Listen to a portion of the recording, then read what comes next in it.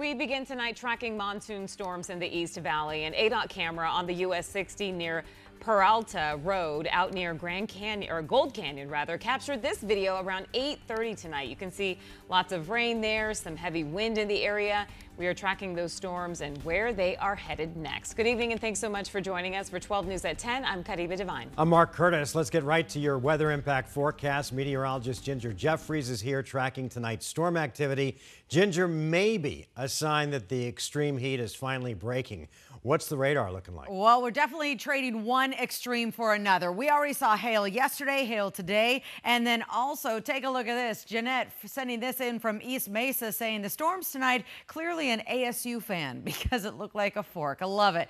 All right, let's take a look at the radar. It has been active, not across the board, but primarily southeast of the Phoenix metro area. And you can see the brighter banding indicating heavy, heavy downpour and the presence of lightning, which if you've gone outside, no doubt you have seen a light show. The biggest cell right now, this is our live Doppler radar between Queen Creek to Gilbert and Chandler. This guy is firing off not just some heavy rainfall, but also some lightning. Now, as far as the precipitation rate, it's dropped down to about 0.23, so a third of an inch of an hour. About a half hour ago, it was dropping rain at a rate of 1.91, so almost two inches per hour. No, it's not raining for a solid hour. These are collapsing rather rapidly but it just kind of gets you an idea of the deluge that's coming down. Also, tracking this cell out near the Buckeye, this guy is uh, really not that impactful. And of course, we've got a little shower activity slightly north of Casa Grande. Meantime, Ajo, we've got a flash flood warning